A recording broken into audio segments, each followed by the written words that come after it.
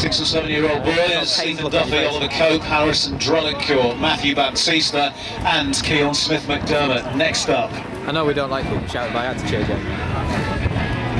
But I didn't do it in a bad way. It was more encouraging. So who's it going to be? I put my money on Keon Smith McDermott on the inside line as he goes past me into the first turn. Keon is there on the golden tents as he goes round berm number one. Out in front his customary slot. Matthew Baptista right up there in the mix in two. Oliver Cope coming through in three. He's being squeezed by Ethan Duffy.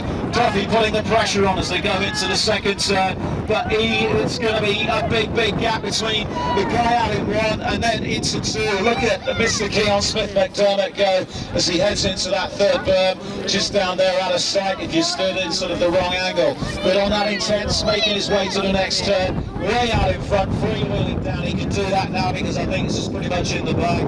Keon Smith McDermott holding on best he can trying to sort of put the power down, but he's not got enough to answer for. Reeling Keon back in, and Keon has increased the lead again, just as he goes round the final turn, heading down towards the finish line. That's going to be another win for Mr. Keon Smith McDermott.